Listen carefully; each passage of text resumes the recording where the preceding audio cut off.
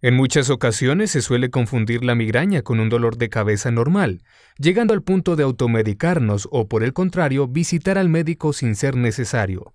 La pregunta es, ¿conoces las verdaderas causas y síntomas de una migraña? La cefalea migrañosa es un tipo de cefalea primaria eh, la cual se va a caracterizar porque el paciente va a referir un dolor en una mitad del cráneo, por lo general es unilateral, es decir, en una sola mitad del cráneo.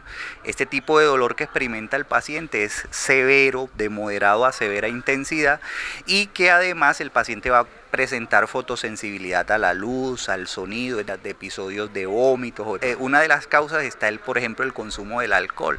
Se considera que pueden haber muchos factores que desencadenan la migraña. Probablemente puede estar en nuestras manos el prevenirla a temprana edad si seguimos recomendaciones. Cuando nos referimos a manejo abortivo, es decir, que eh, el médico debe ordenarle una medicación para quitar en ese momento el dolor. Y además se puede utilizar un manejo eh, profiláctico, es decir, una medicación que va a prevenir a que aparezcan con mucha frecuencia estas crisis de migraña.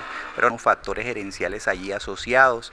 La edad es muy importante, es decir, hay unos grupos etarios que están eh, más en riesgo de que aparezca este tipo de síntomas. Lo otro son los alimentos, el, el consumo excesivo de cafeínas, alimentos como los cítricos, el chocolate, entre otros. La invitación es que cualquier persona que presente este tipo de encefalias, es decir, migrañas, Visite al médico. Es el quien debe evaluar la enfermedad y suministrar el debido tratamiento.